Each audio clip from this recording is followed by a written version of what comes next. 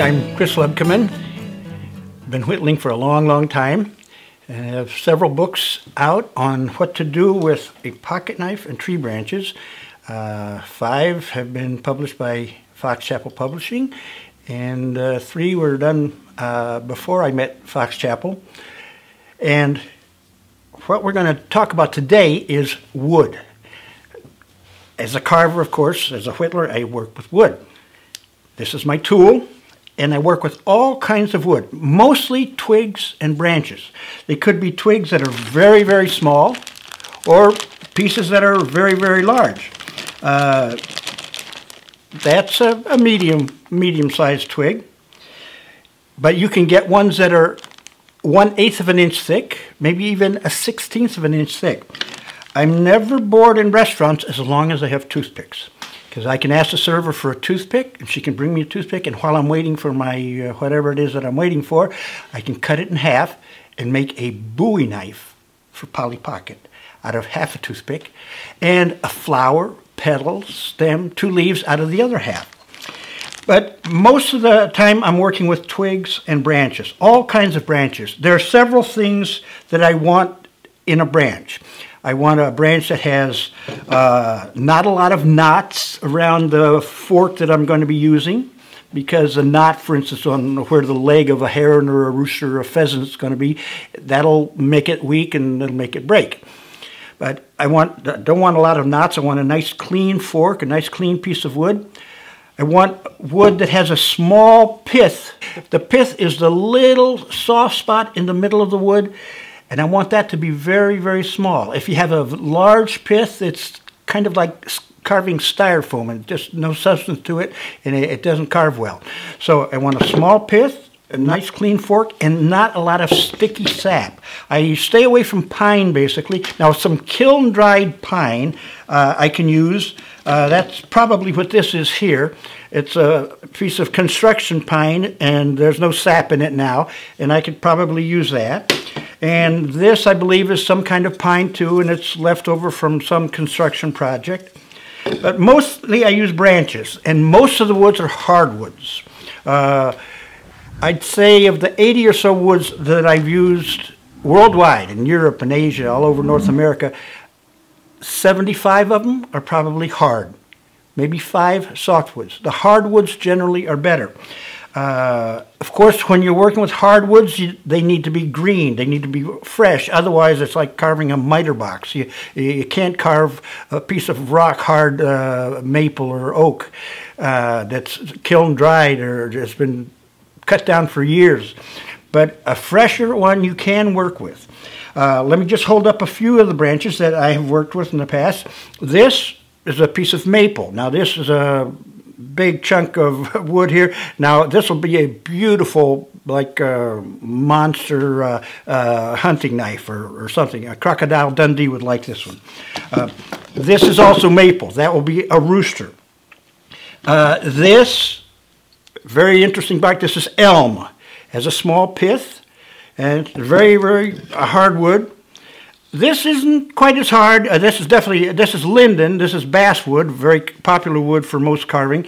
Uh, but it'll work for some of the carving I do. This is ash, kind of wood they use for making baseball bats.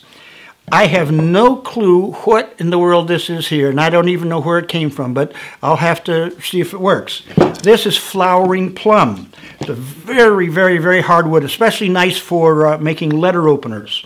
Uh, this is a little piece of uh, uh, myrtle I got down in South Carolina about a month ago. Uh, birch, birch. Here are some paint stirrer sticks. Uh, want to be fair to everyone. Lowe's, Home Depot. Uh, we got, got, got both of them here.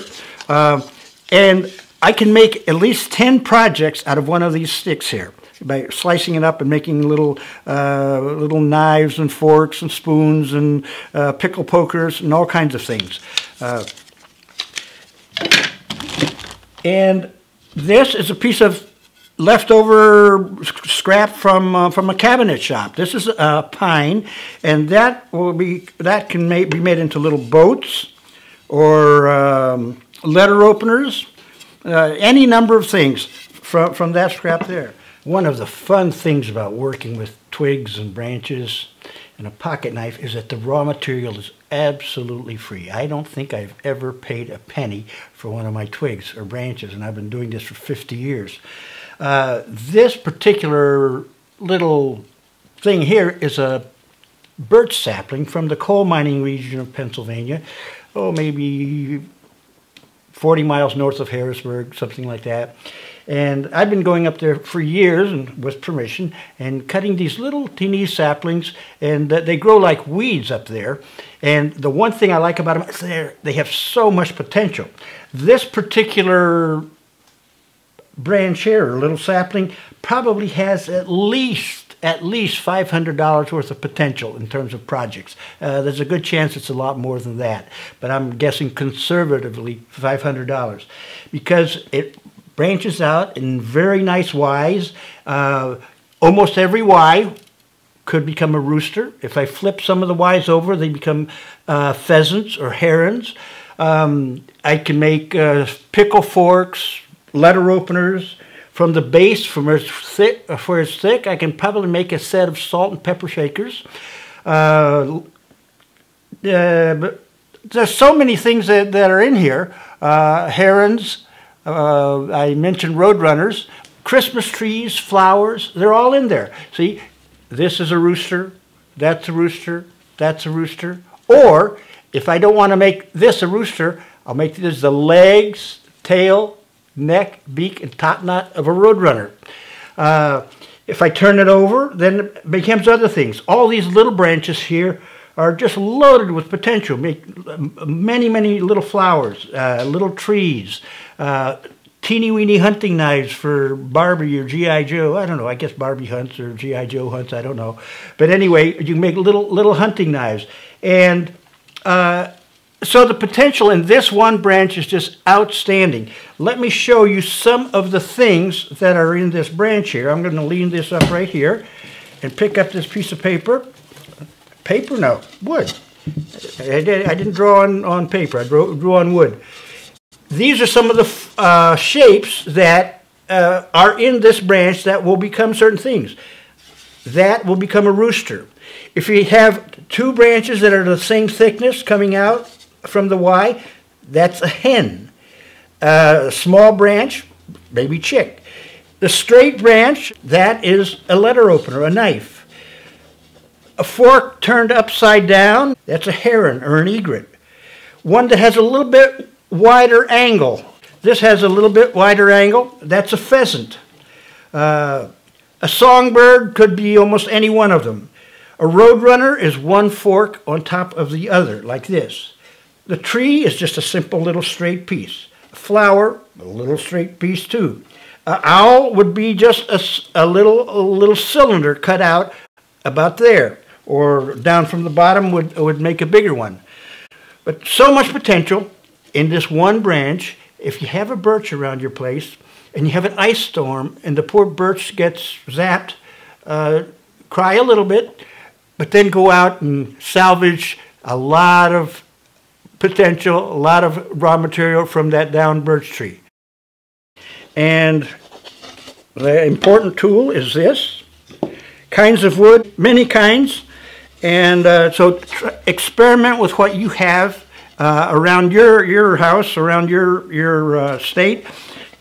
Because uh, I found many of the woods that I use, I don't have a clue what they are. I just look for small pith, not a lot of knots, no sticky sap, and then I find that they'll work. So I hope you'll try some of these projects, and uh, we'll show you some of the projects in the videos ahead. Have fun.